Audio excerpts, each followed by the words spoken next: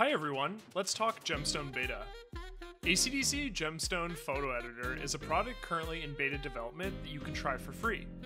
I'll link to more information in the description. We'll continue where we left off in the previous video on layers. I have an open blank document. We'll add some content. I'm going to make a composition similar to my astronaut composition here. I'll start with adding a blank layer. I'll click the plus button underneath the layer panel. A blank layer pops up. We know it is blank because the checkered pattern on our preview panel indicates that the layer is transparent. Let's fill the layer with blue. I'll click the foreground background color picker, navigate to custom, and pick a blue that I like. Note that I can enter a color hex code in the field below to get the precise color. I'm going to hit OK and use the Fill tool to fill the entire blank layer. Note that the blue color is now visible in the preview pane, but also in the layer thumbnail. I'll add rulers to my document by navigating to View, Rulers. Rulers enable me to drag guides. I'll drag guides onto my art area. Guides are a good way to help organize your content. Images and objects can actually snap to guides. Let's expand the canvas. I can do this two ways, by using the crop tool or by navigating to Document, Resize Canvas. I'll add an eighth of an inch to my canvas.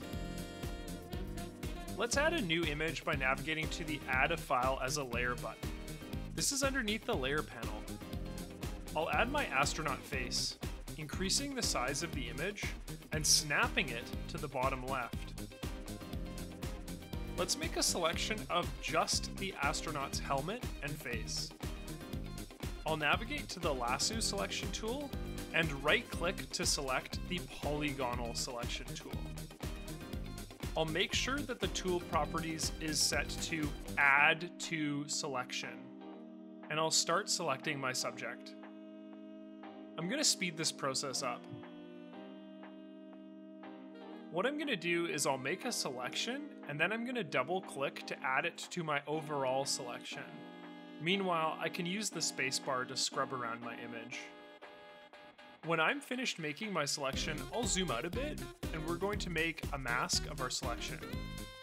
Masking our selection will mask out, or hide, everything outside of our selection on our image here. Making sure that my astronaut layer is selected, I'll click the mask button underneath the layer panel.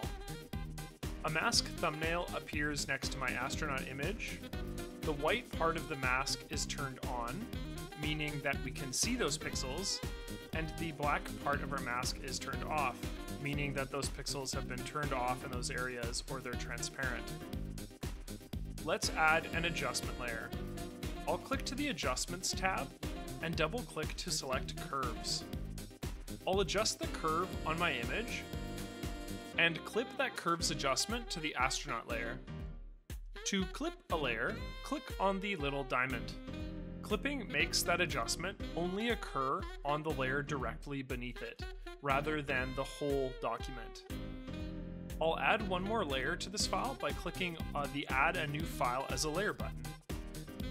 I'll add this paper texture, and then what I'm going to do is I will move that layer so that it covers everything.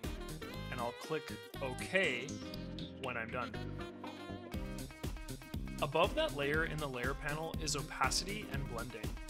I'll click the word normal and select multiply from the dropdown. Multiply blends that layer with all the layers beneath it. To wrap this video up, I will show you the final product after all the edits have been made. Hopefully this video gives you a good example of the power of Gemstone and enough of a platform to spring off of. Thanks for watching. Check the description below for videos on Gemstone's multi-document interface and the raw editor. Please note that Gemstone is a beta release with the aim of gathering your feedback to help us build a better product. Subscribe and click the bell icon for notifications on future videos.